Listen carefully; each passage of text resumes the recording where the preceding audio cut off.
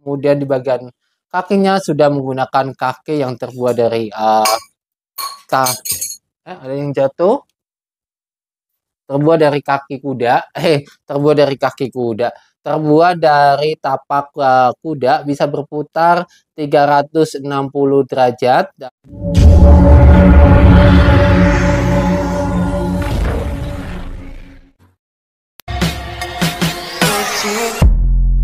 Oke, assalamualaikum warahmatullahi wabarakatuh. Buat rekan-rekan konten kreator di mana pun berada, jumpa lagi dengan Papa Ato di channel kesayangannya Anda, pastinya di Konco Bakul. Nah, kali ini teman-teman semua, saya akan coba mereview kebutuhan untuk konten ataupun buat nge-live ya. Yang pertama yang akan saya review adalah tripod. Pasti teman-teman butuh bangetin yang namanya tripod untuk membantu dalam proses pembuatan video teman-teman semuanya ataupun buat uh, live streaming pastinya. Nah, di sini sudah ada beberapa tripod yang uh, semuanya digunakan untuk proses pengambilan video ataupun live streaming. Yang pertama adalah tripod uh, stand meja. Ini simple sekali teman-teman boleh dapatkan dengan harga hanya sekitar 30-an ribu. Simple dengan ketinggian sekitar 20 cm dan sampai dengan 30 cm. Bisa berdiri di atas meja seperti ini. Bisa juga dibuat untuk tempat mic ya seperti ini yang saya tempatkan. Nah gitu ya. Kemudian yang kedua tripod mini. Ini simple bangetin. Kalau teman-teman mau boleh bangetin juga untuk tripod mininya. Ya, tripod mini ini bisa membantu kalau teman-teman live streamingnya sambil duduk ataupun uh, dalam posisi uh, seperti sekarang ini, seperti saya duduk ya gitu, bersantai sambil ngobrol. Nah, untuk yang ketiganya ada tripod tongsis yang uh, sangat nyaman sekali kalau teman-teman mau dibawa ke mana-mana untuk healing ataupun buat nge-live juga ini cocok bangetin. Tripod tongsis ini yang saya sematkan adalah tripod tongsis yaitu TNW L16 dengan handle-nya ya sudah punya handle dan sudah punya bluetooth-nya di uh, bagian depan sini ya di bagian handle-nya. Bisa berputar 360 derajat dengan kaki menggunakan karet ya dengan bahannya yang bahan uh, sangat kokoh sekali. Dan uh, dengan ketinggian kalau dilipat seperti ini hanya 34 cm kalau kita panjangkan ini uh, 155 cm gitu ya panjang sekali. Ketika kita live harus dilipat seperti ini ya teman-teman. Uh, ketika ini digunakan untuk selfie uh, ini dilipat terlebih dahulu kemudian baru kita arahkan seperti ini. Nah kalau untuk uh, pengambilan video kita bisa buka untuk uh, bagian uh, apa namanya stabilisernya baru kita putar arahkan untuk bagian video ya. Arahkan titik video yang akan kita ambil gitu ya. Ini untuk TNW L16 kemudian ada juga tripod tongsis yang sedikit berbeda tanpa adanya handle stabilizer ya ini adalah tripod tongsis Mixio A31. Mixio A31 ini tanpa adanya handle stabilizer berbeda dengan uh, TNW L16. Kemudian sudah disertai Bluetooth juga ada di bagian kakinya. Di bagian kaki sudah disertakan yang namanya Bluetooth. Nah, ya Bluetoothnya ada di bagian kakinya.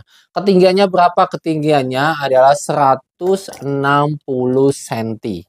Tingginya 160 cm, kemudian ini juga sudah kokoh sekali ya. Sangat kokoh sekali ya karena ini kakinya lebar. Kakinya sangat lebar dan nyaman sekali dipakai untuk digunakan sebagai uh, tripod ataupun tongsis ataupun mau buat nge-live juga cocok bangetin karena sudah disertai dengan tempat untuk pemasangan yang namanya lampu ring light ataupun kamera gitu ya. Tingginya 160 cm dengan harga sekitar 160 ribuan saja. Kemudian ya untuk tripod tongsis uh, Mixio A uh, Mixio A31 ini juga sangat simpel sekali kalau kita pendekkan hanya 30 cm saja. Bisa masuk ke dalam kantong, tas ataupun dashboard motor ya. ya sama dengan yang Mixio A dengan TNW L16 ini ya bisa masuk ke dalam dashboard, bisa masuk ke dalam tas, pokoknya simple untuk dua ini. Kalau teman-teman sering bikin konten di luar, cocok banget untuk dua ini ya. Dua ini, tergantung ya mau mau yang ada handle stabilizernya boleh ataupun yang tidak. Ini juga bisa difungsikan untuk yang namanya tongsis. Tinggal tarik saja, kita tinggal bisa arahkan seperti ini ya. Gitu. Pokoknya dua-duanya sudah bagus sekali, teman-teman tinggal pilih mau tripod uh, L16 ataupun uh, Mixio A31. Nanti untuk uh, link pembeliannya boleh saya sertakan di kolom deskripsi ya teman-teman. Nah itu ya. Ini untuk uh, dua-duanya tripod tongsis. Kita pindah ke tripod stand ya. Dengan harga hanya 170-an ribu sudah dapat yang namanya tripod uh, stand. Kita lanjut. Ini adalah tripod Inback 3520 yang sudah uh, sangat cocok sekali buat kita sebagai pemula ya dengan tinggi 140 cm dengan tapak kuda di bagian kakinya ya terbuat dari karet yang bisa berputar 360 derajat. Kemudian di sini sudah bisa dipakaikan dengan pemberatnya ya. Kemudian di bagian tengahnya sudah ada penguncinya jadi tidak bisa bergerak kalau kita putar kita kunci ya gitu ya. Kemudian kalau kita buka sedikit nah kita buka kuncinya bisa bergerak. Kemudian di bagian uh, Pangkalnya ini sudah menggunakan handle, jadi teman-teman boleh pengambilan video dengan bergerak seperti ini, ya, ataupun mau buat bawah juga lebih simpel bangetin. Nah, di sini juga disertakan dengan handle yang akan menaik turunkan bagian holder. Nah, kita tinggal putar, holdernya akan naik. Holdernya akan naik, baru kita akan kunci. Boleh dikunci. Nah, seperti ini ya. Kemudian kita turunkan juga boleh. Nah, kemudian sudah menggunakan handle stabilizer yang bisa buat bergerak 360 derajat, kanan kiri juga bisa, naik turun juga bisa ya, naik turun juga bisa. Nah, ini tinggal diposisikan mau vertikal maupun horizontal ya.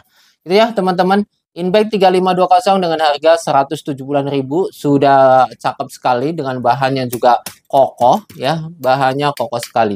Ya, teman-teman boleh tinggal dipilih kesesuaian untuk digunakan di rumah masing-masing atau untuk uh, membantu uh, teman-teman dalam proses live streaming maupun untuk bikin video konten. Nah, gitu ya teman-teman. Nanti kolom uh, untuk link Uh, pembeliannya saya sertakan semuanya ada di kolom deskripsi. Jika berminat boleh langsung aja dikecepin dari ke salah satu uh, tripod ini gitu ya. Atau mungkin mau beli semuanya juga boleh nanti sebagai referensi di rumah.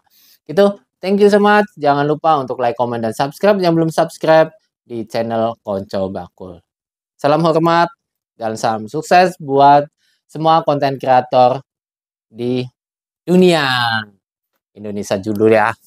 Oke, thank you. Bye-bye. Jumpa lagi dalam review berikutnya untuk alat kontennya.